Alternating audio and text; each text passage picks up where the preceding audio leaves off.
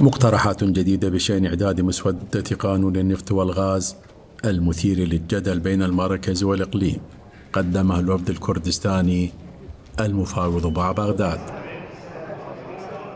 مسودة القانون التي قدمها الوفد تتضمن مقترحات منها أن على وزارة النفط في الإقليم مسؤولية التنظيم والإشراف على العمليات النفطية المتعلقة باستكشاف واستخراج وبيع النفط. إضافة إلى إبرام الاتفاقيات والعقود النفطية مع الشركات الأجنبية. هناك تفاهم مشترك فيما يتعلق بقانون النفط والغاز. الحكومة لها رؤيتها الخاصة ولكن آه، تعكس طبعا رؤية آه، بالدستور مو رؤية خارج الدستور. آه، نحاول عكس هذه الرؤية في داخل مشروع النفط والغاز. وبالتأكيد يعني إحنا أيضا طالبنا حتى في بياننا ما يتعلق بالمحكمة الاتحادية.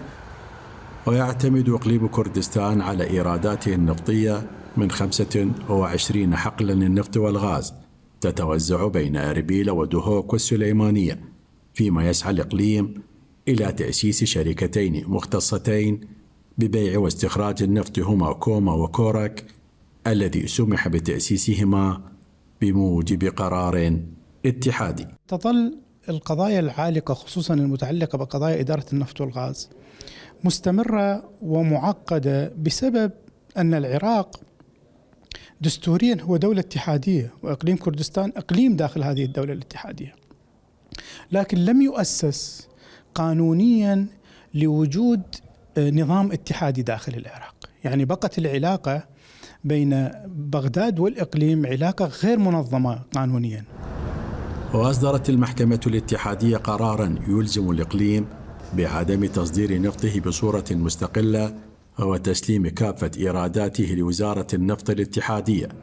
ولكن يبقى السؤال الأهم هل سيتم إقرار القانون في هذا الوقت؟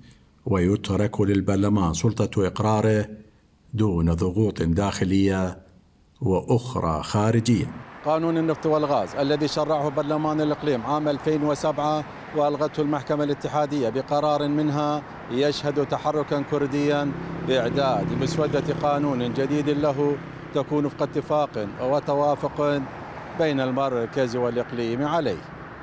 من أربيل بشير الحسن قناة الفلوجة.